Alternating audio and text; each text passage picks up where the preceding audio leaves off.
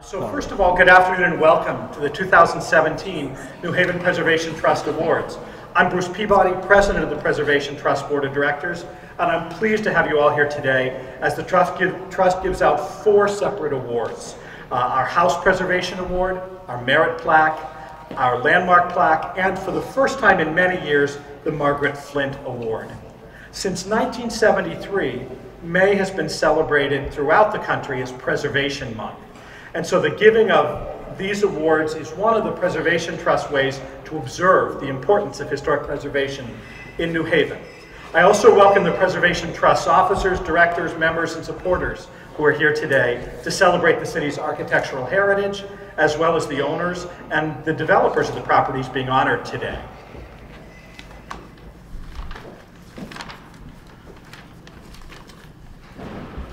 The Preservation Trust was founded in 1961 and is a member-run organization supported by membership, donations, sponsors, and the state of Connecticut.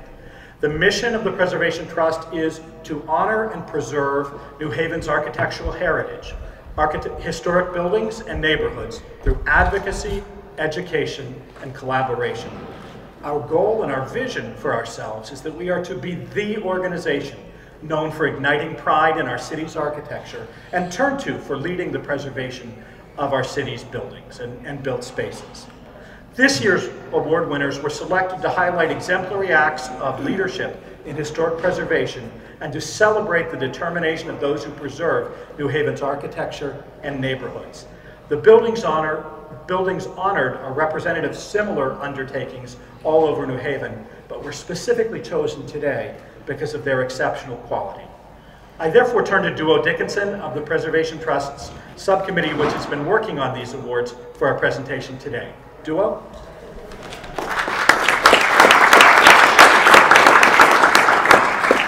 Thanks, Bruce, and welcome. Welcome to all of you, because actually your dedication to architecture and history has made this event possible.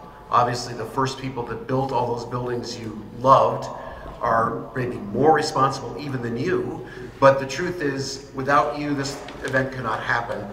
And I want to personally say how much that means to me. And this year's award also means a lot to me because this year's award takes a fundamental need of all humanity, which is where do you live? What is your shelter? And it is this year's awards program is really called At Home with History, Living in New Haven. You know, everybody has a home. It's perhaps the most essential type of building that there is. And New Haven in particular has an incredible array and history of housing stock of every type and style. You know, throughout history, private residences are often a source of pride no matter what their budget is. There's always been shared accommodations, typically often for people of similar means, but also for, for people of modest means or elderly people. But now, right now, there is actually a resurgence of building places to live in New Haven. And it's almost a boom. And it also forced us at the New Haven Preservation Trust to look at what is the history of where people live in New Haven. And thus these awards represent a wide variety of different buildings, uh, in, including uh, modernist residential colleges, including a perfectly sized and preserved house on City Point, a wonderful, almost legacy home in, a, in an established neighborhood in New Haven. And also a real hero of neighborhood and single family residential preservation. They're all honored this year, but I want to honor the members of our committee, starting of course with John Herzan, our preservation officer, who will also be but also, I think they're all here, Peg Chambers, Channing Harris, and Karen Crotchmall, who all work diligently in this project. So without further ado, ado, I'd like to present first the New Haven Preservation Trust House Preservation Award. And I will read you the citation. For houses as outstanding representatives of their period, they exhibit much of their original character and condition by virtue of continued appropriate maintenance or sensitive rehabilitation. And the first house is the Sargent House, and we, we dub this invigorating perfection, the restoration of the Sargent House, built in 1912 for the female offspring of a great New Haven family, Laura Sargent of Sargent Hardware, and, it was designed by a leading society architect, Henry Murphy of Murphy and Dana. This casually majestic home has been fully restored and updated. I walked through it, it is immaculate, and, and Betsy and Len Brower, who did the work along with George Knight, did the house proud. They, they took the essence of the house and made it literally in the 21st century. Rather than reinvent and change its 2000, this 2006 restoration, returned features and finishes to their original condition, including the kitchen, the downstairs bath, and all the possessions that the owners had. They were all fully accommodated and also, as you might expect, the full technological reintegration into the 21st century of this 1912 home. So I would love to bring up here Betsy and Len Grauer to receive their award from John Herzan.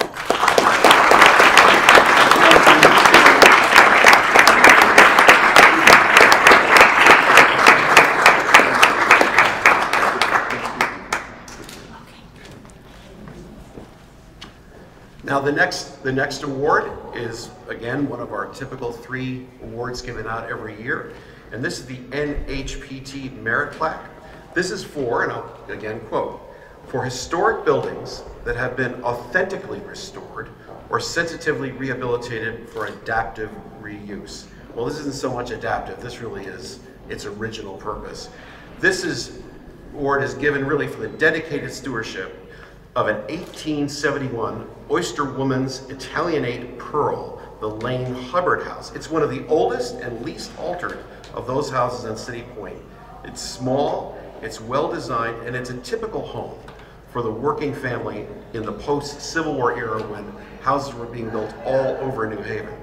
The current owner's dedication to research and deep devotion to the home, valuing renovation and facilitated many, many discoveries and, and cared actually for the historic in integrity in every single detail. And the story can now be told of each of these small houses that were all built in those decades after, after the Civil War, including things that we now take for granted, like running water, piped gas, wires and electricity. Those are all retrofitted into the home and then lovingly accommodated, restored, and recognized by the new, by the new owner. To see these authentic materials and the age-appropriate appearance of this well cared for gem is to virtually step into the past. And it's an incredible project with enormous courage and hope for the future in a neighborhood that I think really appreciates its presence. And receiving the award is Chris Schaefer.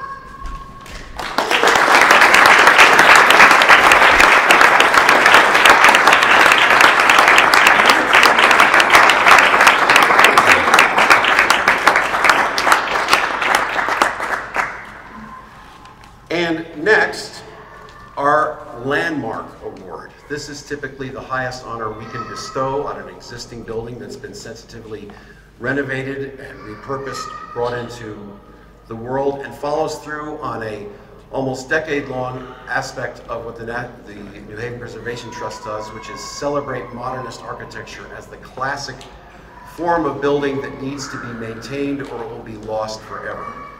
And this year, it, it has the same quote it has every year, which is, for buildings or sites of outstanding and enduring architectural and historical influence, significance.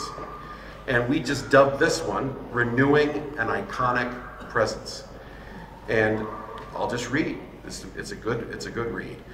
The strength of form and detailing of Eero Saarinen's original 1962 design for Morse and Stiles residential colleges at Yale is clearly apparent in the renovated work completed here by the, architects KieranTimberlake in, in 2011. Saarinen's repeated modules reflect the building's functionality, each playing one another to form the rise and fall of the building and the site. It's actually, if I'm not mistaken, Peg Chambers is here, but it has almost a medieval basis for its modularity and its kind of rolling aspects. Uh, in this restorative renovation by Morse and Stiles, architect Stephen Kieran sensitively underscores Saarinen intent. The essence of the building, buildings are supplemented, given relevance to Eero's sense of poetic wonder and architectural form, an enormous functional enhancement with almost no visual change from the outside except now they look new. And I can tell you that it, it is, I, I took a tour of that, one of our NHPT tours, and to see this level of craftsmanship applied to a modernist building is literally thrilling.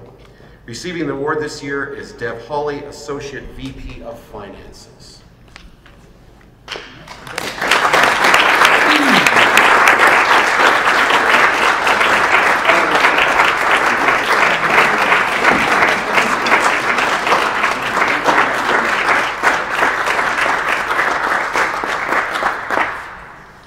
Lastly, and maybe in a way for New Haven and this awards program the most and most significantly, is the Margaret Flint Award, award we haven't given out for at least a decade.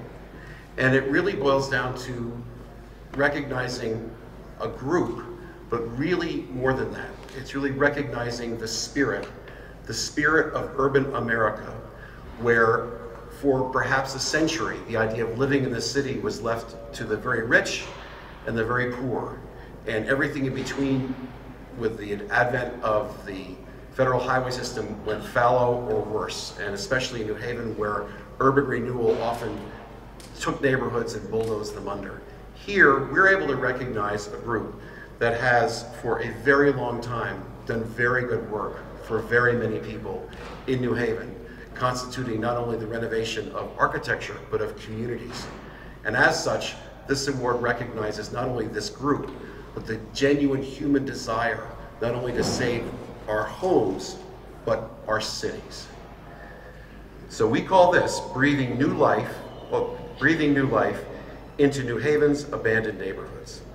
And I will, I, I read the quote, I didn't read the quote, so I'm gonna read the quote. Given to an organization or individual whose support of preservation in the city of New Haven has contributed to the integrity of the community, the, pr pr the protection of its historic structures, and an appreciation of its history. This is being given to Neighborhood Housing Services. It was founded in 1979 under the leadership of Jim Paley, and it has worked diligently to acquire New Haven's houses and transform them into affordable and energy efficient homes. And for 37 years, uh, New Neighborhood Housing Services has renovated and sold more than 275 houses. Just breathe that in and think about that for a while. Often located in New Haven's partially abandoned historic neighborhoods. And rather than bulldoze them or wreck them, they renewed them and celebrated them and created and enhanced communities while they did this. This year, the New Haven Preservation Trust is pleased to present its most prestigious prize, the Margaret Flint Award, to Neighborhood Housing Services in recognition of their long-standing commitment to historic preservation and thoughtful support of New Haven's housing stock. Receiving the award is Henry Dina from John Herzan.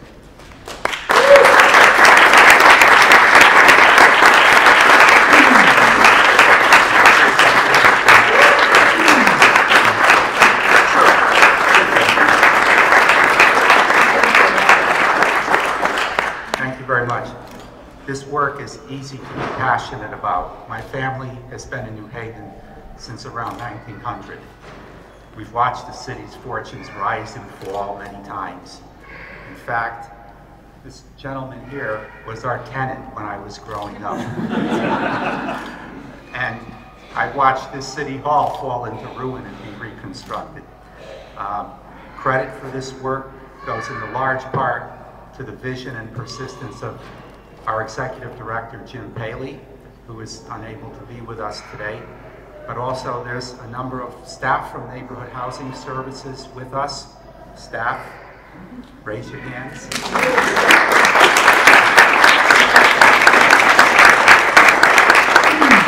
This is definitely a teamwork. It takes a teamwork uh, effort every day of the week. And also one of our contractors I see in the audience, Peter DeLeo, who is the man who does. And work. Thank you, Peter. thank you New Haven Preservation Trust for being a partner with us in this work, probably since the beginning of neighborhood housing services. The neighborhood, the New Haven Preservation Trust has been a reliable source of information, support, technical advice, and we greatly treasure your organization. Thank you again on behalf of Neighborhood Power.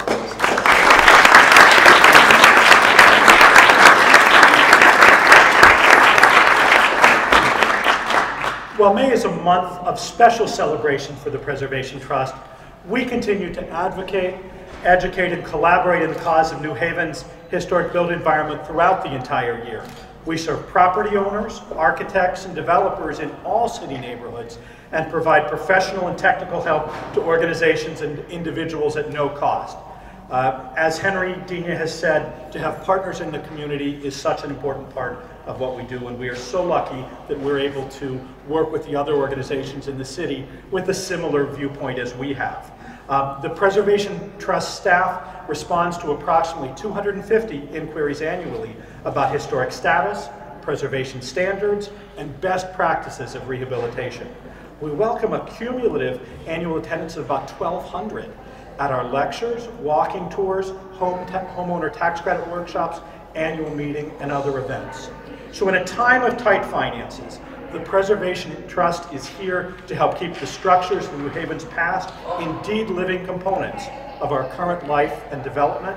In a time of continued new building and renewal, it is important that the trust work continue so that these important projects are respectful of the past and add to our present and future in New Haven. Thank you so much for joining us today. I hope you will take time to come up, look at the pictures, look at the placards, talk to the owners, thank them for all the hard work they've done because each and every component has really made a difference to New Haven. Thank you.